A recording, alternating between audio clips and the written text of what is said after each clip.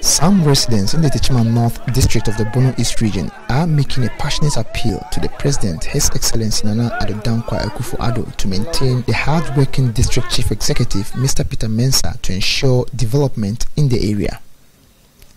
At a press conference held in the district capital, Tuobodom, the youth say the DCE, since his appointment in 2017, has, through his sterling leadership, supervised major developmental projects as well as maintained peace and tranquility within the Techiman North District, a situation they described as a historic achievement. Osuata Clement is the spokesperson for the group. We would like to first of all thank the President for the confidence he reposed in Honorable Peter Mensah in his first term in government by appointing him as DCE for the good people of Techiman North. We wish to bring to the attention of His Excellency the President that Honorable Peter Mensah served diligently and creditably when he was given the North as DCE to represent him as the President in the Techiman North District. In the area of security, historically he, he maintained peace and tranquility within the Techiman North District which initially was known to be the headquarters of the Tanosubin Francas, succeeded in reducing crime-related issues to its barest minimum. They catalogued a number of developmental projects witnessed across the district, thereby making the Techiman North District the industrial hub of the Bono East region. Apart from the peace that we have enjoyed and witnessed under his sterling leadership, We have also witnessed a lot of developmental projects across the districts. We can confidently say that Techiman North has now become the industrial hub in the Bono East region and as a result has attracted a lot of investors into the district. In the area of infrastructure, the youth say all sectors of the economy has had its fair share ranging from agriculture, education, health, energy and water and sanitation. Under his time as the DC, he initiated a lot of projects.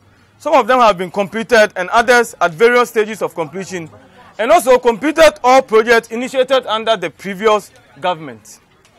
With regards to the district performance assessment contracts supervised by the Ministry of Local Government, the district for the first time finished 16th in the entire country with the DCE being awarded as the best performing DCE in the Bono, Bono East and Ahafo regions. Honorable Peter Mensah, through his sterling performance and leadership, he earned himself and the district the following awards. 1. 16th best performing MMDA in Ghana. 2. Best performing MMDA stroke DCE in Brong Ahafo. To this youth, the DCE has laid a solid foundation and his reappointment as the chief executive will help transform the Techiman North District in Nana Addo's second term.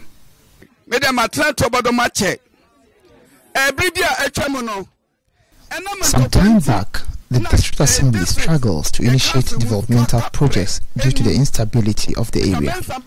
But since his appointment, the district is able to initiate projects due to the peace we are enjoying here. So all we are saying as youth is that we want Peter to be reappointed just as we voted for you so he continues with his good works for the next four years.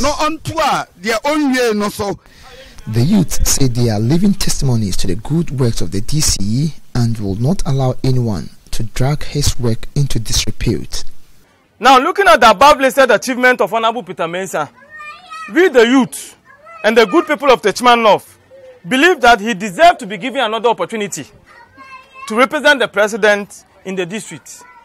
We are therefore appealing to the president, His Excellency Nana Addo Dankwa Akufo-Addo, to reconsider Honorable Peter Mensah for reappointment as the DCE for Techiman North District. Reporting for Joy News, Anas Sabit, Chobodom.